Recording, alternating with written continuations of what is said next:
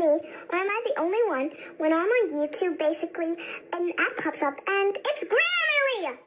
So, hmm, basically it goes, do you ever need help with your writing? Well, we got the, no! No! I don't need help!